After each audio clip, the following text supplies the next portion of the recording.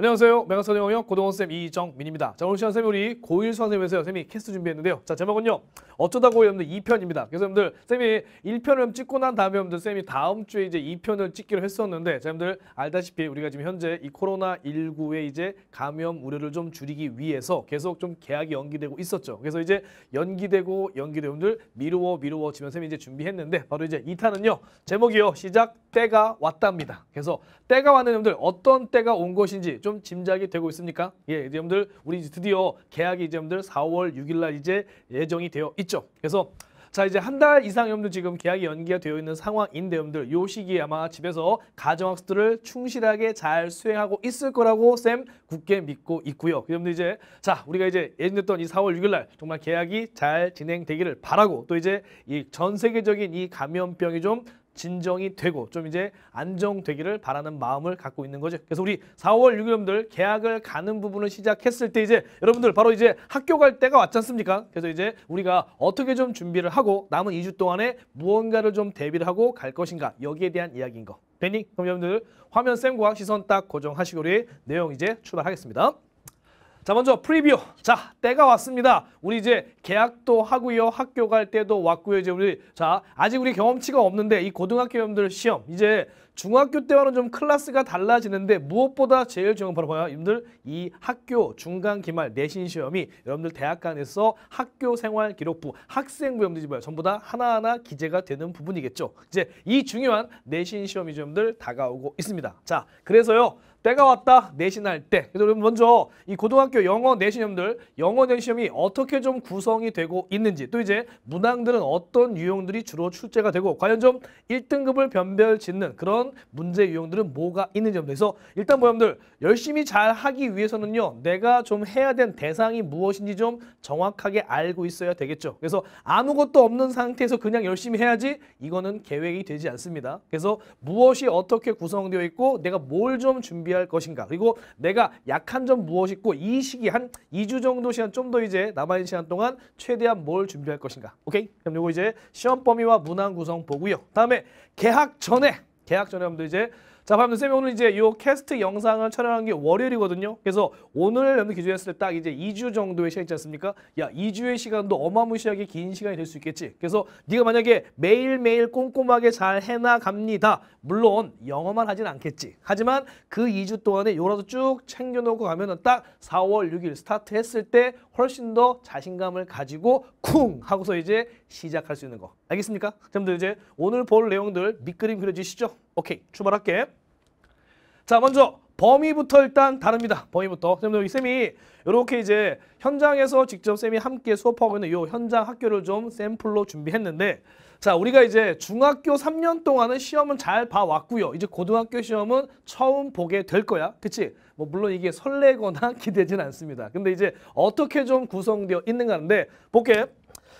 자, 선생님도 여기 A 중학교랑 A 고등학교 해놨죠. 그래서 중학교 때 이제 사실 뭐 선생님이 중학생들을 담당하지 않으니까 그래서 이제 기출 문제를 좀 이렇게 구해봤어. 그래서 1학년 친구들한테 너 작년에 중학생 때 풀었던 문제 한번 갖고 와 볼래? 어떻게 시험 나오는지. 그래서 봤더니 자 중학교 때 여러분들 약간의 이제 학교별 편차가 있기는 하지만 대부분의 학교 여러분들 교과서만 한 3과 정도로 시험 보더라고요. 어 그래서 크게 사실 뭐야 부담이 안 돼. 그래서 물어봤지.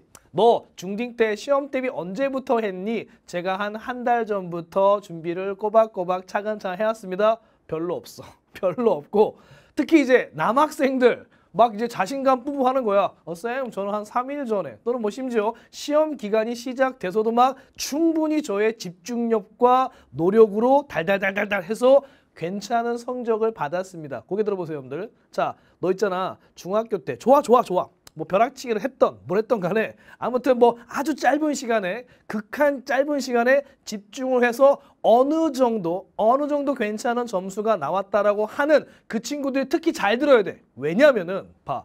사람마다 있잖아. 자신만의 학습법과 비법이 있어. 근데 문제가 뭐냐면은 이게 한 번 잘 통했잖아. 한 번 잘 통하면은 아주 온전하게 뿌리박을 가능성이 굉장히 크단 말이야. 하고 싶은 말은 네가 전에 해왔던 그 방식이 토, 통하지가 않는다는 거야. 그렇기 때문에 설령 그동안은 잘 되왔을 수 있겠는데 이제는 안 되기 때문에 그동안 결과가 좋았다라고 하는 방법, 네 방법을 통해서 좋았다면 좀 바꾸시라고요. 그리고 그 바꾸라는 거에 대한 쌤이 합리적인 근거를 줄 테니까. 오케이? 자, 보세요. 자, A 고등학교입니다. A 고등학교입니다. 여기 자, 이 A 고등학교들 일반 고야. 알겠니? 일반 고등학교고 봤더니 일단 교과서 여러분들 두 과죠. 어머, 중딩 때보다 교과서의 부담이 줄었어. 줄었네. 여러분들 잘 알고 할 거. 자, 여러분들 이제 고등학교 과정에서 배우는 게 정식 명칭이 2015 2015 개정 교육 과정입니다. 개정 교육 과정. 그래서 2015년도에 이 개정 교육 과정이 마련이 됐고요. 실제 적용이 된 게 언제면은 2018년도부터 적용이야. 그래서 명칭은 요거고 실제 적용은 2018년부터 적용이 되어 있습니다. 그럼 이제 올해 2020년 고등학교 1학년인 너는 이 개정 교육 과정을 뭐 어떻게 세 번째 배우겠지? 이해되냐? 그래서 여러분들 지금 네가 이제 갈 학교에 3학년 올라가는 선배도 있죠? 물론 만날 일이 없겠지. 근데 이제 그 선배들이 개정교육 과정의 첫 번째 1세대인 거고 너는 뭐 이제 요 2015 개정교육 과정의 세 번째 세대인 거. 자, 그럼 이제 우리 이 요 개정 교육 과정에 따르면 여러분들 고등학교 1학년 동안은 뭐 하냐면요. 자, 영어 교과서 있잖아. 자, 교과서 여러분들 다양한 한 11개 정도의 출판사가 있는데 이 교과서를 여러분들 1년 동안 사용합니다. 1년 동안. 그 다음에 이제 약간의 그 출판사별로 차이가 있기는 하지만 대략 한 8과에서 또는 9과 정도의 구성으로 되어 있어. 그래서 보면 여러분들 아, 조금 많은 과는 이제 여러분들 어떤 교과서는 이렇게 한 10과 정도까지 돼 있는데 약간의 편차. 그럼 이제 우리가 한 학기의 시험 중간 기말고 두 번 보겠지. 그럼 이제 1년이면은 중간 기말, 중간 기말 총네 번이잖아. 그럼 얼른 산수해 봐. 그러면 교과서는 한 번 시험 때 보통 얼마 정도 대략 한 이렇게 여러분들 2과 정도가 보겠지. 가벼워. 가벼워. 근데 사실 여러분들 이게 쌤이 지금 가볍다고 말을 하는 건 뭐야? 다른 거에 비해서 조금 가벼울 수 있다. 또 다른 시험 범위에 비해서 난이도가 조금은 쉬울 수도 있다라는 거지. 전혀 준비되지 않은 네가 보기에 매우 많이 만만하다 이건 아니라는 거야. 오케이? 그럼 사람들 궁금하면 이제 아마 이제 대부분의 학교들 있잖아. 아직 뭐 계약 안 했지만 이제 이 자, 교과서 여러분들 아마 배부를 했겠죠. 그래서 뭐 직접 학교에 가서 개별적으로 수령하기도 했을 것이고 또 이제 쌤이 언론 보도 보니까 어떤 학교는 택배로 보내주기도 했었고 이제 교과서 여러분들 출판사도 알고 있을 텐데 그러면 집에서 책 받았으면 있잖아요. 여러분들 보세요 한번. 봐봐. 어차피 너 이제 계약하면 볼 거잖아. 근데 미리 보면 큰일 나니? 그런 거 아니잖아. 보세요 보면은 내가 중딩 때 봤었던 교과서도 어떻게 지문은 조금 길어져 있고 어, 이상하다. 모르는 단어도 있네. 이런 느낌들이 분명히 들 거야. 그래서 자 다른 거에 비해서는 조금 부담이 적을 수 있지만 그냥 시작할 때 만만한 거 아니라는 겁니다. 일단 교과서 두 가 정도. 오케이? 자 다음에 분들 고등학교 영어 시험의 꽃은요 여기입니다. 부교재 빠밤. 자 빠밤들 자, 얘네 학교는 일반고임에도 불구하고 일반고를 폄훼하거나 무시하는 게 절대 아닙니다. 근데 이제 뭐 다른 자사고도 있고 뭐 특목이지 뭐 않습니까? 근데 이제 전혀 클래스가 뒤지지 않는 거지. 우리도 충분히 많이 시킨다 학생들한테 공부시킨다 해서 자, 하드교육에서 여러분들 자체적으로 단어장, 단어장. 물론 여러분들. 자 선생님 이렇게 한번 보니까 학력평가 변형 문제 그 다음에 이제 교과서 뭐 이렇게 좀 빨간 빨간색. 그래서 이렇게 교과서하고 학력평가 변형 문제 빨간색을 표시한 건 전국에 있는 우리 여러분들 전국 고등학교 한 2천 개가 좀 넘어. 그러면 그 고등학교에서 거의 한 90% 이상 공통으로 적용되는 사항들이고 자 나머지 부분들은 뭐 이제 학교별로 조금씩 편차가 있겠지. 근데 얘네 학교는 단어장도 있어. 자, 영어 공부할 때 니네 제일 중요한 거 어휘 아니겠니? 그래서 어떻게? 자, 학교에서 단어장을 선정해 놓았으니까 알아서 니네가 잘 외워라. 우리는 시험 볼 때 반영할게. 알겠어? 자, 다음 여러분들 듣기요. 여러분들 중학교 때 중간 기말고사 볼 때 듣기 평가 봤습니까? 안 보는 게 대부분이지. 근데 이제 고등학교 있잖아. 1학기 뭐 중간고사, 기말고사분들 둘 중에 하나 정도 여러분들 듣기 평가가 실제 시험에 번역합니다. 알겠니? 내신 시험에서도요. 그래서 이것도 들어가는 부분들 있고요. 자, 여러분들 여기 먼저 할게. 어, 자, 부교재 여러분들 보게 부교재 종류가 단어장 또는 뭐 듣기 있을 것이고 그다음에 여기 시중 교재 자체 교재인데 시중 교재 말 그대로 여러분들 시중의 출판사에서 나와 있는 시중 출간 교재를 채택한 학교가 있을 것이고요. 또는 이제 학교에서 쌤들끼리 자체적으로 열과 성을 다해서 직접 만드신 학교의 자체 교재가 있을 수도 있습니다. 이렇게 이제 자 바로 부교재가 선택되는 경우 있겠죠. 자, 그 다음에 뭐가 있냐면 여기 학력평가 변형 문제. 자, 여러분들 요 이제 가장 큰 공통 설명할 텐데 이거 지워도 되지? 자, 학력평가 변형 문제라는 게 뭐냐면은 자, 이렇게 여러분들 우리가 1년에 3월, 6월, 9월, 11월 달 이제 올해는 조금 달라지지만 뭐 알아도 여러분들 지금 3월 학력 평가가 이제 뭐야? 예정보다 연기가 되어서 이렇게 이제 4월 16일 날 치러지는 부분인데 그래서 1년에 총 4차례의 전국 연합 학력 평가 정식 명칭 전국 연합 학력 평가? 보통 이제 이게 풀네임이야. 풀네임이고 줄여서 뭐 이렇게 네 글자로 학력 평가 또는 그냥 간단하게 두 글자로 학평. 아니면 우리가 일반적으로 쉽게 뭐야? 모의고사. 야 이거 전부 다 같은 명칭이야. 어. 그래서 여러분들이 수능이야 고3 돼서 보겠지만은 그때까지 뭐 여러분들 네가 주기적으로 현재의 수준과 실력을 파악할 수 있게끔 수능과 동일한 유형이야. 유형은 똑같은데 난이도는 이제 학년별 시기별 조절을 하겠지.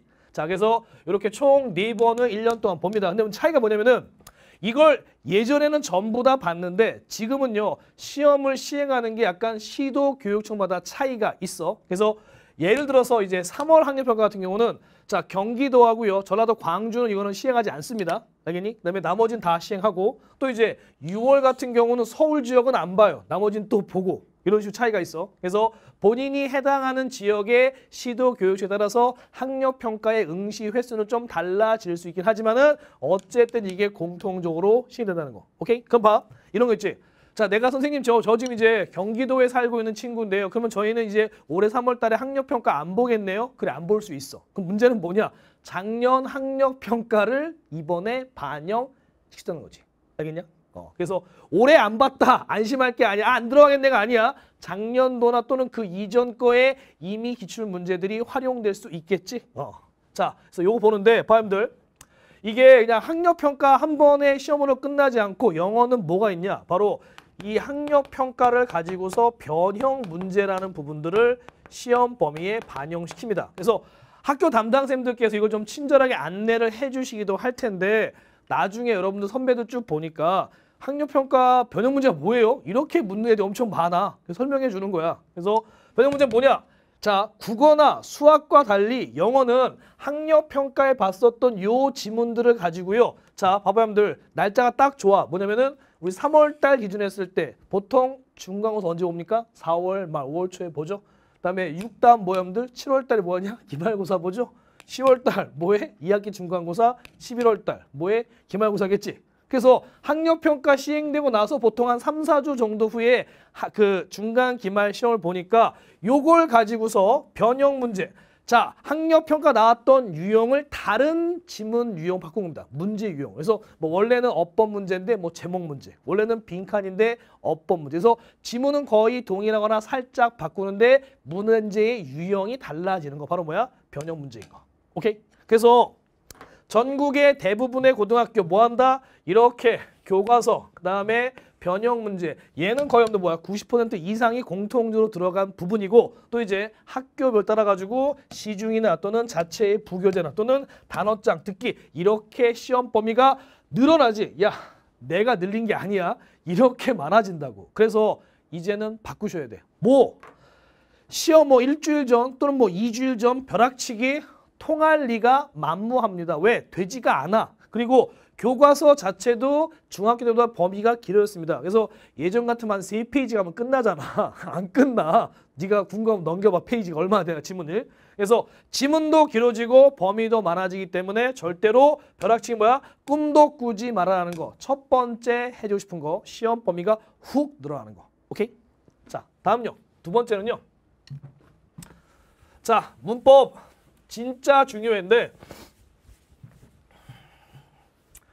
자, 쌤님들 이렇게 이제 어, 현장에 담당 학교들님들 샘플링을 보여주는 건데 요 A, B, C 세 개 학교 보시면 되겠죠. 그래서 봐봐요, 여러분들 일단 자, 우리가 이제 이렇게 다양한 시험 범위를 통해서 수능 독해 유형으로 그래서 우리 모의고사를 치를 때 학력 평가에 나오는 독해 유형으로 문항들이 출제가 됩니다. 그래서 자, 봐봐. 교과서, 그다음에 또 부교재 또는 이제 우리 학력 평가 변형 문제 있는데 그런 다양한 시험 범위의 독해 지문들을 가지고 수능 독해 유형으로 출제가 되는데 여러분들 자, 여기 이 학교 보니까 보세요. 전체 32문항 중에 11문항 정도 나왔지. 그다음에 요 학교 모형들 37 문항 중에 9문제 나왔지? 다음에 얘는 뭐야? 34문항 중에 16문항 좀 한 반쯤 냈습니다. 그래서 수능 독해 유형을 냈다라는 얘기 바로 여러분들 객관식 문항이죠. 오케이? 그래서 봐봐. 학력 평가에 생판 처음 보는 지문 낯선 지문이 었습니까 근데 이제 우리가 학교 중간 기말 내신 볼 땐 시험 범위가 정해져 있잖아요. 그럼 이제 봤었던 지문을 가지고 이제 다른 유형으로 내서 이렇게 독해 문제 보는 건데 사실 뭐야? 그럼 공부를 성실하게 하면은 막 어마무시하게 틀리는 문제는 아닌 거지. 그치? 금파님들. 여기요. 자, 쌤 이렇게 노랗게 체크하고 빨간색 글씨한 거 보이냐? 자, 쌤이잖아. 그 기출문제를 쭉 분석을 해보면 여러분 선배들 또 이제 여러분 마찬가지일 텐데 이 문제 유형 중에서 가장 많이 틀리는 빅3 유형을 잡아놓은 거야. 빅3 유형. 그래서 자 이렇게 어법 1번, 어휘 2번, 서술형 3. 요 1, 2, 3이 없는데 이제 뭐야? 가장 많이 틀리고 변별을 결정하고 1등급, 2등급을 나눈 그런 킬러 문항들의 유형인데 실제 여러분들 출제 비중을 좀 보십시오. 얘가 특정 학교를 막 보여주는 게 아니라 샘플링한 학교가 이제 가장 normal한 학교들입니다. 일반적 학교들. 그럼 보세요. 자, 이 학교 보니까 어법 몇 문제 나왔어? 32문항 중에 9문항이야. 얘네는요. 어법 자체는 좀 적은 것 같지? 속으시면 안 돼. 뭐 했으면 여기 서술형 10문항이야. 그 다음에 어휘를 엄청 강화한 학교죠. 14문항이야. 봐봐. 물론 이제 14문항을 냈지만 배점이 엄청 크진 않지? 얘들 봐봐라. 얘는 4문항인데 거의 12점이잖아. 얘는 14문항인데 20점이죠. 그럼 뭐야? 사실 봤을 때는 얘는 어휘 문제 하나당 문항당 배점은 얘보다 훨씬 낮은 거지. 야 이걸 4개 틀리나 이거를 반 틀리나 거의 삐까하잖아. 그렇지 않아? 다음 이 학기 보세요 여러분들. 여기도 네 문항을 내기는 했는데 배점 봐. 15점에 15점. 그치? 그 다음 여기 여기 또 함정 있죠? 서술형. 몇 개 나와? 12문항에 32점이야. 자, 할 말은 여러분들이 이제 전국의 쌤이 전국의 모든 학교를 샘플링하는 부분은 사실 불가능한 부분이고 이제 자 어느 정도 이제 공통적으로 대동소이한 측면을 보자는 얘기인데 뭐냐? 수능 독해 유형은 어느 정도 많으면 절반 아니면 조금 한 40%이 정도가 나오는데 뭐 이거는 크게 변별하는 문제 유형이 아니야. 아니고 보니까 어법 단일한 유형으로는 제일 많이 나오지? 야 얘네 학교 가봐. 이 학교 가면 어떻게 어법 아홉 문항 틀리면 뭐야? 28점 감점이면은 몇 점이야? 나머지 다 맞았다고 쳐도 70점대 초반 아니겠습니까? 당연히 좋은 등급을 기대하기는 어렵겠지.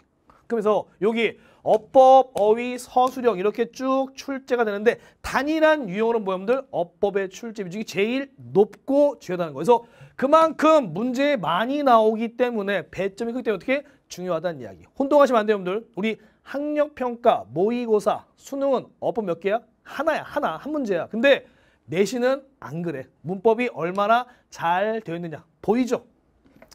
그 다음 봐. 또 하나. 문법 할 얘기. 자, 문법은 항상 전체 범위로 출제가 됩니다. 이게 뭔 소리냐면은 여러분들 중학생 때 보면 말이야. 자, 일과의 핵심 어법 한 두 개. 이과시법 한 두 개에서 총 한 네 개 정도 또는 다섯 개 정도 그 내용만 아마 주로 시험 나오지. 근데 고등학교는 안 그래요. 안 그래요. 이러시면 안 돼. 봐봐. 이 내용을 모르고 그냥 시험 보러 갔다라고 하면은 이런 생각 들 거야. 아니 왜 가르쳐 주지도 않은 걸 시험을 냈지? 내가 이상한가? 라는 생각이 들 수도 있어. 뭐냐면은 어법은 여러분들 우리 어법 보통 강의나 교재 여러분들 한 권 있잖아. 한 권. 그러면 그게 항상 전체 범위로 뭔 소리냐? 자, 이렇게 한번 칠게. 그래서 뭐 한 열, 한 여덟 조각 크기 한 여덟 조각 정도의 우리 자, 영어 문법에 문법에 출제되는 포인트가 있다고 치란 말이야. 그러면은 뭐 크게 크게 뭐 이제 한 1부터 쭉 이렇게 이제 8번까지의 어떤 출제 되는 뭐 우리가 보통 고등학교 과정에서 되는 어법 개념 있다고 치면은 자 어디선 이렇게 이렇게 이렇게 또 어디는 이렇게 이렇게 이렇게 또는 어떤 애는 이 문제 이 문제 이 문제. 그래서 사실은 뭐야? 뭐가 나올지 모른다가 아니라 출제 범위는 쫙 정해져 있는데 여기에서 조합을 어떻게 할 것이냐지 말 이해되냐? 봐요 쌤이 하나 샘플 문제를 준비했어 야 이거 지금 네가 열심히 풀지 않아도 돼 풀지 않아도 되고 기출문제 예시인 건데 볼게 자 밑줄 친 부분에서 어법상 틀린 걸 고르라는 건데 보세요. 쌤이 이거 지금 문제 풀이하라는 게 아니야. 뭐냐면 출제 포인트가 다양하게 나오는 걸 보여주는 거야. 1번 봐요, 여러분들. 자, 여기 여러분들 이렇게 보니까 to be well motivated. 그래서 보니까 여기 1번은요. 이렇게 to be pp 해서 바로 뭐다? 부정사의 수동형을 잘 썼는가를 묻는 문제. 그러면 선택형은 뭐겠습니까? 부정사의 능동이냐, 부정사의 수동이냐. 그러면은 이렇게 선택형 문제는 to 부정사. 돼? 다음 2번은요. 자, 밑줄 친게 finishes,가 돼 있죠? 앞에 이렇게 하면 end가 있어. 그래서 2번 같은 경우는 출제 포인트 바로 뭐다? 아, 등위 접속사 다음에 병렬 구조를 잘 썼는가. 오케이? 다음 3번은요. 이렇게 호핑 돼 있죠. 그래서 호핑은요. 자, 동사 원형 호프를 갖다가 이렇게 하면 문장 중간에 동사 뭐야 바꾼 거잖아. 그러면 문장 구조 쭉 파악해서 여기다 구조 파악 해 보니까 얘는 무슨 자리야? 바로 여기 분사 구문 자리야. 됐어? 자, 나 아직 안 풀었어. 안 풀었고 이제 뭐야? 출제되는 포인트만 보여주는 거야. 이건 부정사의 수동, 이건 뭐야? 병렬 구조, 이건 뭐야? 분사 구문이지. 다음요. 자, 4번이요. 4번을 보니까 밑줄 친 게 비동사가 돼 있네. 그러면 자, 비동사 밑줄일 때 이렇게 뭐야? 출제 포인트가 수일치. 주어가 단수인가 복수인가. 선생님 어떻게 합니까? 아, 내가 이거 당연히 이거 캐스트 찍기 전에 준비했지. 근데 근데 뭐 있어요? 앞에 보니까 이렇게 자, 뭐 나옵니까? 자, four fifths 뭐 나와요? 분수 5분의 4 나오죠. 그래서 부분 표현이 들어가 있는 거 바로 뭐야? 수일치 포인트. 다음 마지막 5번은요. 자, 이렇게 would 다음에 have pp가 등장했네. 머릿속에 뭐가 지나가는 게 있어 없어? 잘 없어요. 바로 이거는 시작. 바로 가정법의 출제 포인트. 됐니? 그럼 봐. 다섯 개가 어떻게 전부 다 틀리지? 그러면 쌤 얘기 이렇게 출제 포인트, 어법 출제 포인트 하나에 판이 피자처럼 판이 있으면 거기서 뭐가 나올지가 모른다는 거야. 어, 나는 일과에서 관계 대명사밖에 안 배웠는데 왜 이렇게만 나오는 거지?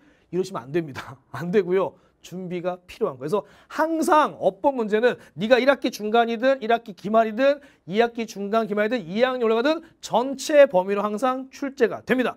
바꿔 말하면 뭐야 이게 충실하게 꼼꼼하게 학습이 되어 있다라고 하면은 아 봐봐 쌤이 이렇게 쭉 지금 빠르게 지나왔지만 네가 각각의 출제 포인트를 잡아내는 건데 정말 고마운 건 뭐냐면 봐 생각한 사람인데 어디서 뭘 나올지 모르는데 뭘 공부해요 이게 아니라 이걸 다 공부를 해주고 확실하게 해주고 반복을 하면은 이거 외에는 시험 나올 게 없어 알겠냐? 그래서 뭘 나올지 모르니까 못하겠다가 아니라 그 출제되는 포인트만 잡으시면 너무너무 쉬워지는 거야. 얘들아 고마운 건 뭔지 알아? 고1, 고2, 고3 올라갈 때 영어 문법의 출제 포인트는 새로운 게 없습니다. 알겠니? 그래서 똑같아. 고1이나 고3이나 어법 포인트는 똑같습니다. 다만 그 어법 포인트가 등장하는 문장의 길이나 어휘나 문장 구조 정도의 차이가 뿐인 거예요. 그래서 어법은 똑같다. 오케이? 그러면 자, 네가 할 일이 보이시죠? 어, 어법이 장난 아니겠는데? 라는 부분들. 그래서 이걸 모르고 이 상태를 모르고 올라와서 뭔가 시험 대비를 해야겠어. 열심히는 해야겠어. 엄마 아빠 눈치 보이니까 잘 좀 해봐야겠어. 뭐라도 하는 심정 나중에 어떻게 막 외울 거 아니야. 막 외워서 되는 게 아니라고요. 막 외우지 마. 외울 것보다 개념이 뭔지 시험 나온 출제 포인트가 뭔지 이거에 대한 공부가 돼 있고요. 그 공부 여러분들 충분히 기간 내에 반복, 정복 가능하다는 거. 알겠어? 자, 고1 출발조에 서 있습니다. 그렇죠? 뭐 사실 여러분들 우리 2월 중순까지만 하더라도요. 약간 설레임도 있고 또 약간 긴장감도 있고 막 두려움보다는 우 고등학교 간다 고등학생이다 라고 했었는데 자 이제 예기치 않은 이런 지금 코로나19 여파로 인해서 미뤄지고 미뤄지고 해서 조금은 느슨해지고 조금은 흔들리고 괜찮습니다. 그럴 수 있습니다. 그리고 여러분들이 건강하게 잘 지내고 있는 부분들이 제일 중요한 거 아니겠어? 근데 이제 출발은 이제 예상점이 딱 정해진 상황이고요. 그럼 이제 한 번 더 내가 어, 가졌던 마음들 다시 한번 up, up, 뿜뿜 하면서 이제 제대로 한번 시작을 해야 되는데 불안할 수도 있죠. 야, 내가 오늘 너한테 불안감을 조장하기 위해서 이걸 찍은 게 아니야. 뭐인지 정체를 좀 알고 아 그렇구나 인정을 좀 하고 받아들이고 그럼 이제 이걸 어떻게 할 것인가 자 어떡하지 어떡하지 어떡하지 그냥 하면 돼 알겠어? 그래서 불안감을 자신감으로 바꾸는 부분들은 뭘 할지 모르니까 어떡하지 모르게 불안했잖아. 근데 이제 이렇게 하니까 이렇게 되면 선생님이 방법을 하나하나 제시하고 있는 부분이죠. 그러면 차근차근 잘 따라 하시면 하면서 해나가면서 자신감이 생기는 거야. 자, 쌤이 이제 여러분 선배들 2학년, 3학년 때 하는데요. 진짜 중요한 건 뭐냐? 내가 오늘 계획한 부분들, 오늘 내가 성실히 하루를 잘 보냈으면 본인 스스로에게 뿌듯하고 칭찬하고 뿜뿜 하시면 되는 겁니다. 근데 이제 조금 늦었던 거 이제는 좀 잡고서 시작하시라고요. 알겠어? 그 스타트의 시작점이 이제 다가오고 있습니다. 자, 이제 시작하시라고. 어. 자, 그럼 이제 3편 예고.